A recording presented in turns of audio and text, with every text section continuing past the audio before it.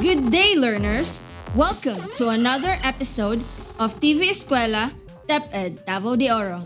I am Samantha Dannielle Salvado Cruda of Nabunturan National Comprehensive High School, Nabunturan West District. After going through in this module, you are expected to First, identify appropriate hand tools for proper operation and safety. Second, classify hand tools and equipment according to their uses. And lastly, maintain hand tools. In your previous module, you have learned a brief history about Computer System Servicing or CSS. Now, let us go deeper to what CSS is all about. As quoted by Wallace D. Wattles, it is essential to have good tools, but it is also essential that the tools should be used in the right way. This lesson will provide knowledge and skills of different tools and equipment which are necessary in computer system servicing.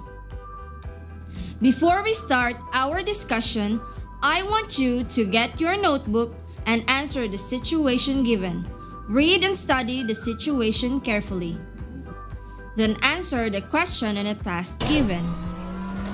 One of the personal computer in your computer laboratory is not working properly, and you decided to open the computer case. What are the necessary tools that you are going to use for you to open and fix it? I will give you enough time to answer.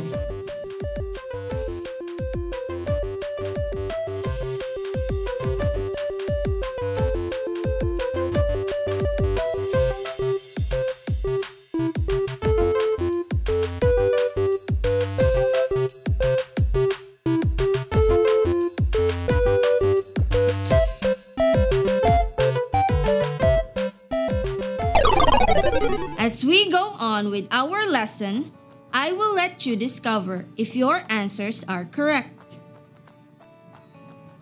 Are you ready? Great! A tool is a handheld device that aids in accomplishing a task. Tools range from a traditional metal cutting part of a machine to an element of a computer program that activates and controls a particular function. In order to maintain your tools, once selected, use the tool for the purpose for which it was designed. Not all tools come with detailed instructions, but some do spell out the safety do's and don'ts for your safety. If there are set up or use options, operator judgment must always be based on what is the safest way to use the tool. The Environmental Safety and Health Program requires the following. First, all tools should be kept in good condition with regular maintenance. Second, the right tool should be used for the job. Third, each tool should be examined before used and damaged or defective tools should not be used. Fourth, Tools should be operated according to the manufacturer's instructions. And lastly, the right protective equipment for the tool and activity should be used. There are four categories of computer servicing tools. The first is the electrostatic discharge or ESD tools. And the examples are anti-static wrist strap, it is used to prevent ESD damage to computer equipment. Anti-static mat. It is used to stand on or place hardware on to prevent static electricity from building up. Second category is the hand tools. And the examples are flathead screwdriver. It is used to loosen or tighten slotted screws. Phillips head screwdriver. It is used to loosen or tighten crosshead screws. Torx screwdriver. It is used to loosen or tighten screws that have a star-like depression on the top, a feature that is mainly found on a laptop. Hex screwdriver. It is sometimes called a nut driver. It is used to tighten nuts in the same way that a screwdriver tightens screws. Needle nose plier. It is used to hold small parts. Wire cutter. It is used to strip and cut wires. Tweezers. It is used to manipulate small parts. Part retriever. It is used to retrieve parts from a location that are too small for your hand to fit.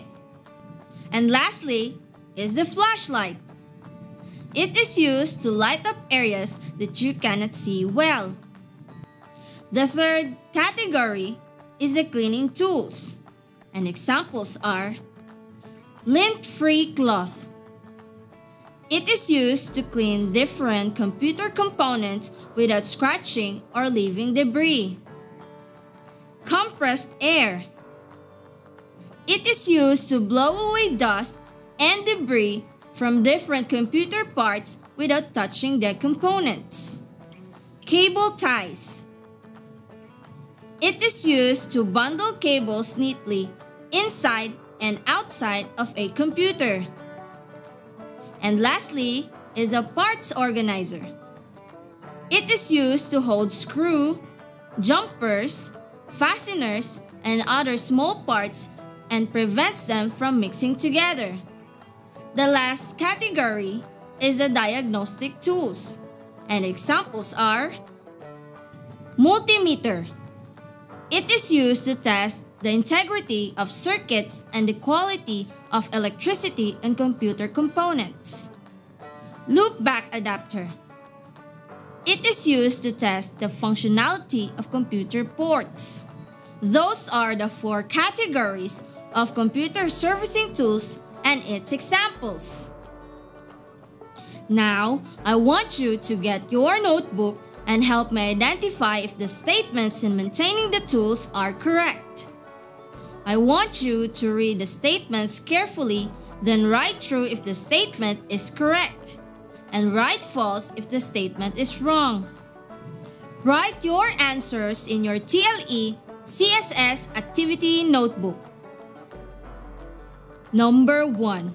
All tools and equipment must be properly maintained so that workers are not endangered. Again, all tools and equipment must be properly maintained so that workers are not endangered. Number 2. Preventive maintenance keeps the tools and equipment in a safe, usable condition and extended productivity. Again, preventive maintenance keeps the tools and equipment in a safe, usable condition, and extended productivity. Number 3. The level of maintenance will depend on the kind of tools and equipment that will be easy to find when needed and are less likely to be lost. Again, the level of maintenance will depend on the kind of tools and equipment that will be easy to find when needed and are less likely to be lost. Number 4. All tools should be kept in good condition with regular maintenance.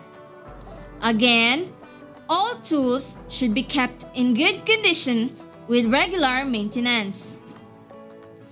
And number 5. Damaged or defective equipment or tools should be tagged and removed from service. Again, damaged or defective equipment or tools should be tagged and removed from service. Let's find out if your answers are correct. Number 1, true. Number 2, true. Number 3, true. Number 4, true. and number 5 true.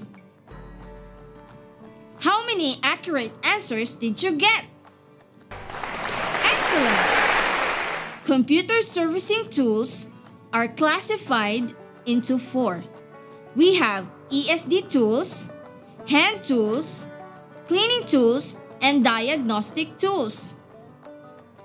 In 30 seconds, I want you to classify each tool. Your time will start now.